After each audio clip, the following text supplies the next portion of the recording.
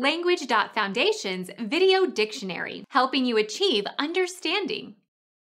The structure of the vertebrate skeleton supporting the lower limbs in humans and the hind limbs or corresponding parts in other vertebrates.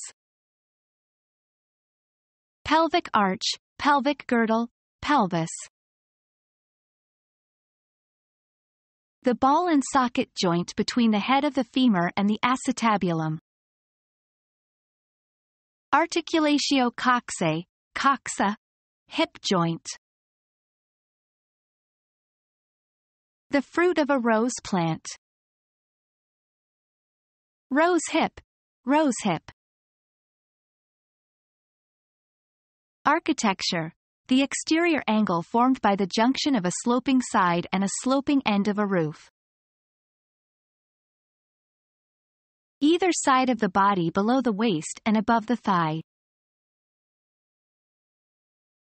Informed about the latest trends. HEP. HIP 2.